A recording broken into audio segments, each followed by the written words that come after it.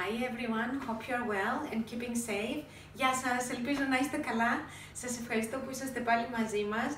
Thank you for coming back for another uh, video. Today we're gonna be making my mom's cheese pie. We're gonna be making my mom's tiropita. And I wanted to share this recipe with you because it's so quick and easy. And if you like feta and filo pastry and olive oil, this is truly a delight for you. It's very simple to make. Let's have a look at the ingredients. For the tiropita, we need, of course, a packet of filo pastry. Then we will need 100 grams of olive oil, 5 eggs, 250 grams of Greek yogurt. Look at this beauty. 500 grams of crumbled feta, 100 grams of, I'm using here extra mature cheddar, so you want a little bit of sharpness. We need three tablespoons of milk, and you can use whole uh, full fat milk or reduced fat, it, it's entirely up to you.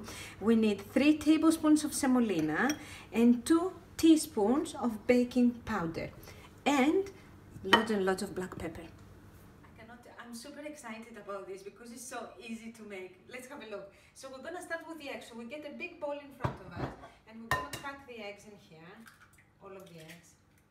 And I'm using five medium eggs here.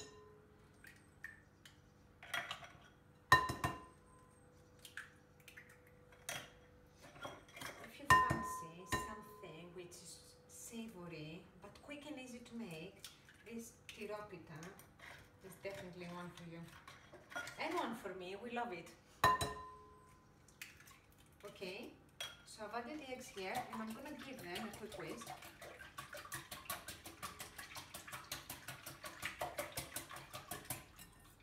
Okay, in here I'm going to add my yogurt.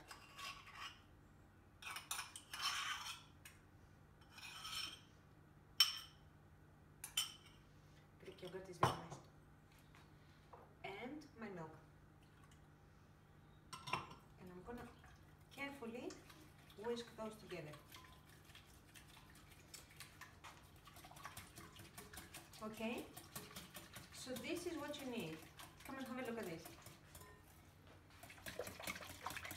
Eggs, yogurt, and milk. I finished whisking now, so in here we have um, the eggs, the yogurt and the milk. The next thing I'm gonna do is I'm gonna mix the baking powder with my semolina. And instead of semolina, you can use uh, flour, but I prefer using semolina. I think it adds a little bit of a texture into your cheese pie. I'm gonna add this in here and give it a mix.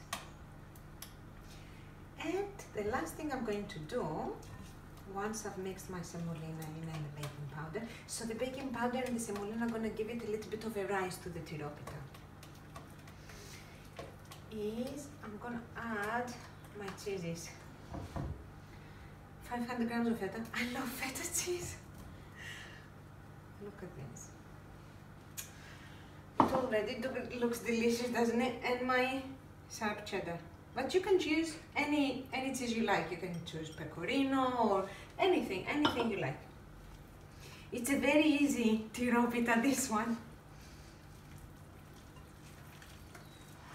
Come and have a look at this. Can you see?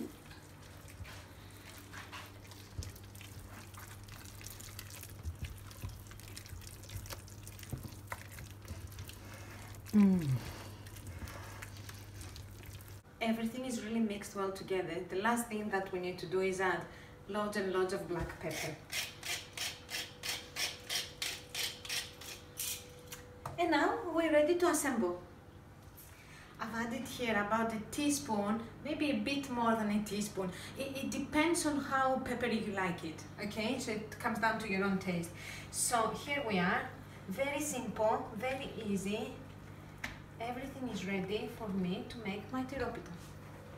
So we need a baking tray, again about mm, 36 to 25 oven proof this.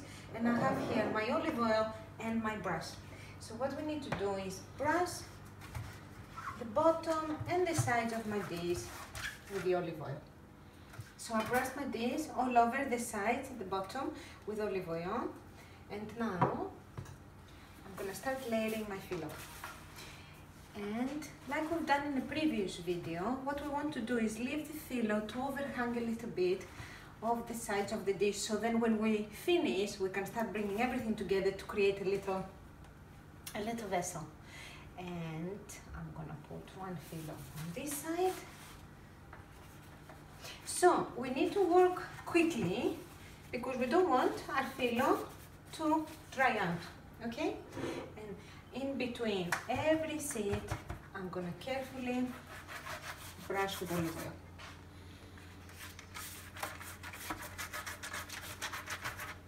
And I'm gonna continue like this until I have about six filo underneath. Okay? Beautiful. We've layered that dish and I have six seeds of filo pastry underneath. And as you layer you brush with olive oil. And this is to ensure that the filo is cooked and it doesn't um, and it gets crispy. So now you see all this beautiful mixture that we made? I'm gonna add it all in. Everything. Every little bit.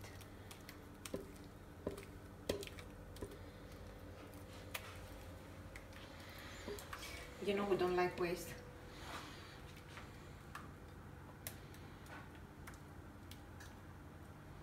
And then I think that's pretty good yeah and then what we're going to do is we're going to spread it all around.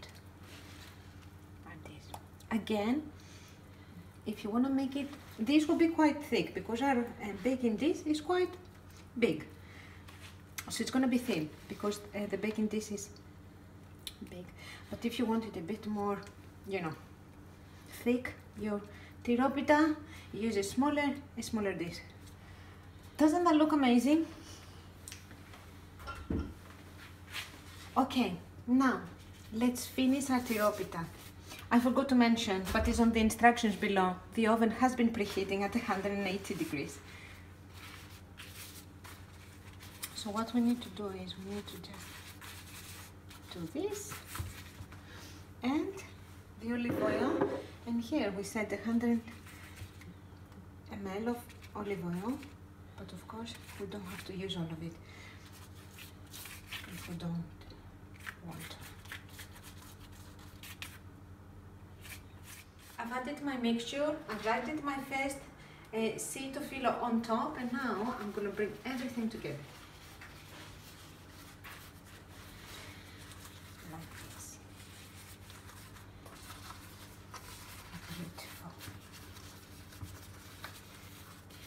and I think I've mentioned before in another video if you don't want so much filo at the side you can just rip it off. And now what we need to do is we have about three seeds of filo remaining for the top. So it depends on your package. So for this I've used six seeds of filo at the bottom and four on top. Always remember try and put more seeds of filo at the bottom okay? And because we're adding the final layers we want to make sure that our pie is really really nice and pretty.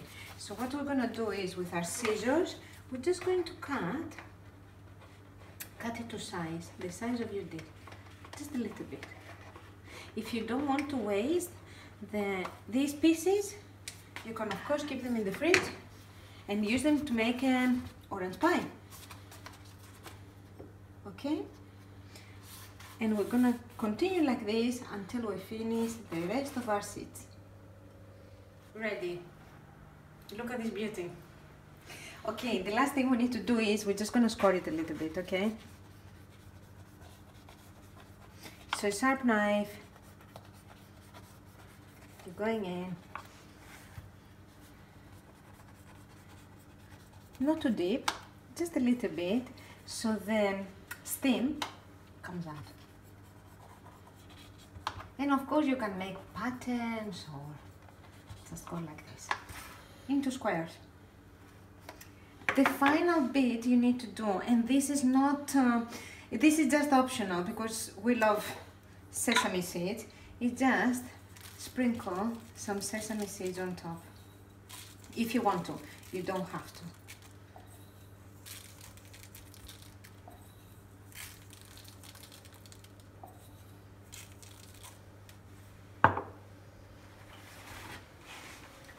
This this quick and easy to tiropita, but very, very delicious, will go in the preheated oven for 30 to 40 minutes.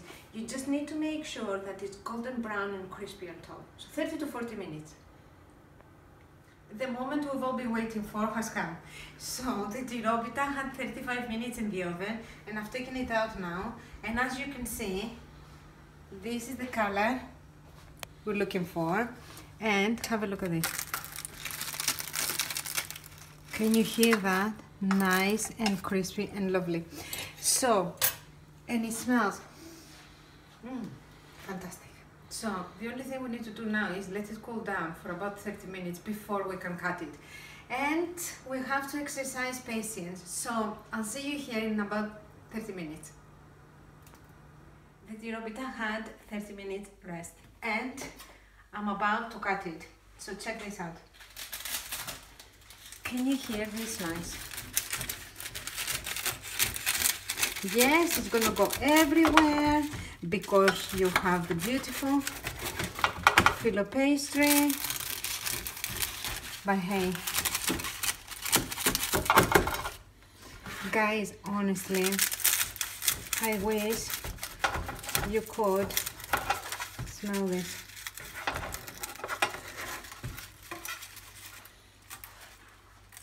Okay, I'm gonna put it and polite, but I'm gonna try. Mm.